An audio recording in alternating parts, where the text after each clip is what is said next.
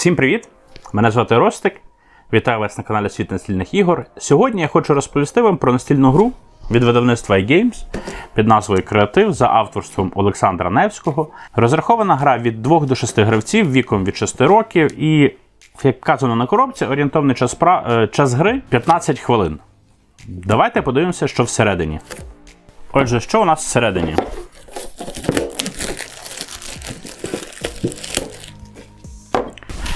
Ми маємо металеву коробку. Так. Тут е, тиснення, я не знаю, правда, чи камера його зловить, мабуть, якось ось так вдасться трошки вам передати. Назва креатив витиснена, логотип теж. Маємо правила українською та російською. Всередині ми маємо два набори круглих карточок, органайзер. І дуже багато пустого місця під органайзером. Отже, давайте подивимося на самі карточки. О, шов розірвався. Е, Карточки мають. Вони доволі тоненькі, але вони мають текстуру.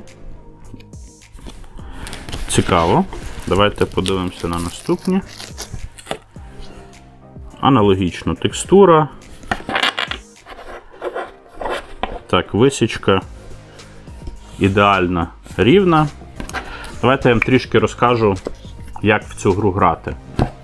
Отже, щоб зіграти в гру креатив, вам потрібно поставити на телефон, чи планшет, чи будь-який інший пристрій, який підтримує цю аплікацію, програмку Linkas. Це є Linkas це перша назва креативу. Якби В програмці вона залишилась так. Мабуть, в світі гра буде називатися Linkas. Ми маємо всього дві кнопки. Перша такі сходинки при п'єдестал, так би правильно сказати, для змагальницького режиму. Другий це де дві руки потискають одна одну, це для кооперативного режиму. Натискаючи будь-яку з кнопок, ви чуєте, йде. Е, не знаю, цокання годинника або бомби, мабуть, правильніше сказати. Зараз я її зупиню. Далі вам потрібно кожному гравцеві роздати по дві карточки. І тоді, коли всі отримали картки, відкривається верхня картка, запускаємо годинник. І гравець своїх карточок має вибрати зображення, яке він поєднає з карткою, яка є в центрі. І це може бути. Зараз я спробую щось. О, Наприклад, злодій і ніж. І я кажу, злодій використовує ніж, щоб створити грабунок. Тоді я кладу верхню картку, і хід переходить до іншого гравця. Грається гра дуже швидко. Інший гравець дивиться на свої карточки. Він повинен придумати поєднання до е, двох. О, продзвонів годинник, я програв. Відповідно, я одну картку свою кладу сюди, іншу кладу сюди. Це є моя штрафна картка. Е, коли перший з гравців набере три штрафні картки, гра закінчується і він програв. Тобто тут всі решта перемогли, а він програв. Також в правилах чітко це не написано, але я думаю, що можна грати так, що хто буде мати якомога менше штрафних е, балів, цей переміг, якщо вам потрібно виокремити одного саме гравця з усіх. Далі гравець, який програв цей раунд, бере дві нові. Запускає годинник, і наступний гравець придумує до його картки якісь зв'язки. Та? Наприклад, там Земля, тут якісь зірочки.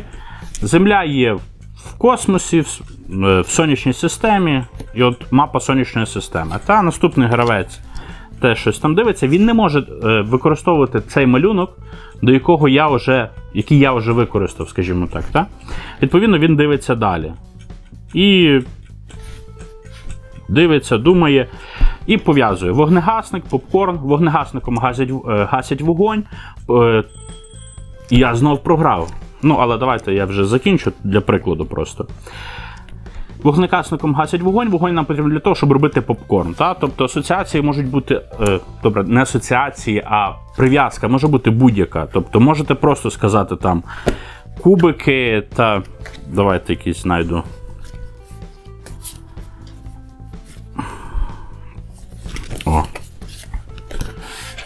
Там. Е, літаючий змій. та кубики, це, це розвага, це розваги. Все. Та? Якщо інші гравці е, підтримали ваш, е, ваше, ваш зв'язок, тоді ви граєте далі. Якщо усі гравці не підтримали вас, ви маєте викручуватися і грати далі. В змагальницькому режимі, де дві руки тиснуть одна одну, йде той самий відлік, час абсолютно рандомний. Вибухає, добре, дзвонить будильник на будь-кому з гравців. Єдина відміна змагальницького режиму від кооперативного, те, що в кооперативному вам потрібно за відведений час зіграти якомога більше карток і.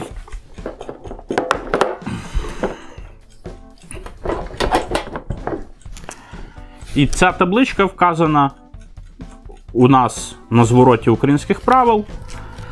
Е, Наприклад, від 10 до 14 карт це добрий результат, від 15 до 19 це відмінний результат, а від 20 і більше це неймовірний результат. Тож, давайте перейдемо, мабуть, до висновків.